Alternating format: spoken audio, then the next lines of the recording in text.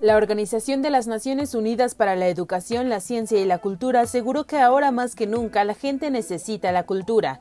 Ello aunque 71% de los países han cerrado los sitios de patrimonio mundial. Así, a pesar de la situación, la cultura debe continuar, pese a que también está en crisis por el COVID-19.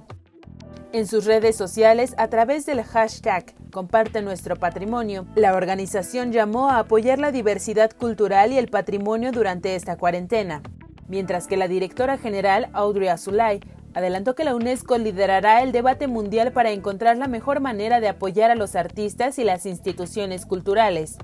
Por su parte, en un video, el subdirector general de Cultura, Ernesto Tone, señaló que estamos viviendo una de las crisis sanitarias más graves de la historia contemporánea, y aunque el mundo se gira hacia la cultura para compartir, para crear, sostenerse y resistir, esta también sufre y se halla en crisis.